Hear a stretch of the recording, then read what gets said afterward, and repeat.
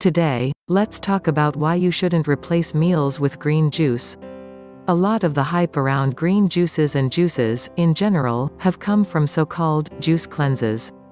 These cleanses involve cutting out all solid food for a period of time, usually from a week to a month, and only consuming fruit and vegetable juice. Juice cleansing is not recommended by medical professionals. Restricting your diet from solid foods has been shown to produce consistently negative results. First of all, you cannot cleanse your body of toxins using certain foods or drinks. Your liver, kidneys, and intestines already do this naturally. Anything being sold as a cleanse is a marketing gimmick. Don't fall for it. Finally, there is no evidence that restricting your diet to only liquids promotes healthy, sustainable weight loss. In fact, a majority of those who lose weight during a liquid diet is likely to gain that weight back and then some. The temporary nature of weight loss by juicing is because there is a severe lack of calories in an all-liquid diet, especially one containing only fruits and vegetables. Here is a more extensive look into why replacing your meals with green juice is not recommended by doctors. 1. Lack of fiber. A significant lack of fiber in your diet can create problems, like weight gain and blood sugar fluctuations, which can lead to even bigger problems in the future. Problems like diabetes and heart disease are of main concern. While high-fiber foods technically take more energy to digest, your body knows how to process them. The only thing that a healthy level of fiber will do to your body possibly makes you bloat, which is entirely natural.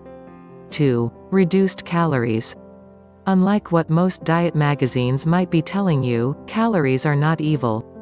To maintain a healthy weight and energy level, you actually need to get a good bit of calories.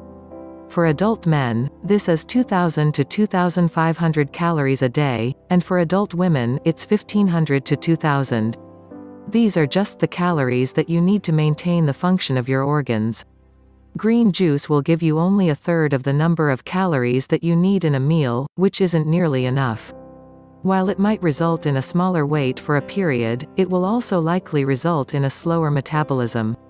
So, it won't help you with weight loss in the long run. 3. Limited macronutrients. Replacing a meal with a green juice is sure to increase your intakes of micronutrients, like vitamins and minerals, but it won't be good for your macros. Macronutrients are the most important parts of our diets.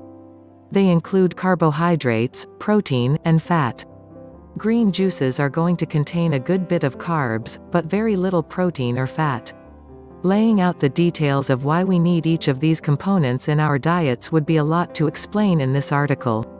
To make it simple, without protein and fat, you are going to have much less energy. That's why these compounds are essential to our everyday diets. Thumb up if you like this video and don't forget to subscribe to this channel if you would like to get notified when a new video is on. See you in the next video.